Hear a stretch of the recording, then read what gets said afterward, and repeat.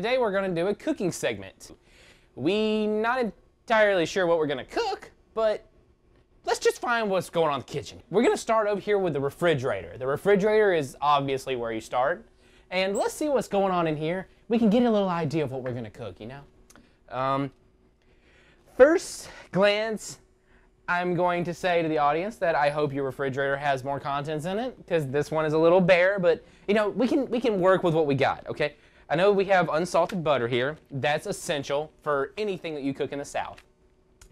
And um, I like I like I don't know about you, but I like ranch on anything. I can put ranch on anything. I've even put ranch on ice cream one time. It didn't really work out, but uh, I you know I like ranch. So you, if you like something different, you can put something different on it. But we're gonna put a little ranch on it. Uh, I should have listened in culinary class. All right, baking soda is a base, I think. Uh, all right, and let's put some of this on here. Let's try this. Let's try a little bit of. Uh, this is looking not as good as I thought it was gonna look, but we're gonna keep trying, okay?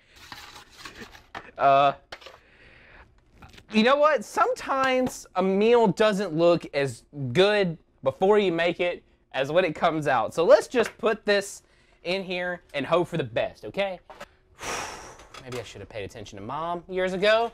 Okay, uh, we got this cooking. Uh, we'll be back in a little bit when it's ready. Let's see how our meal's going, okay? And inside here, well, my holy shnikes. I did not see, I did not see this coming out of that dish we made. Um, wow.